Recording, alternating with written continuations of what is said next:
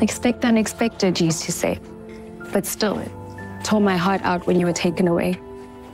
But flowers are blooming again, filling this room as we say our goodbyes, knowing that your star will light up our skies.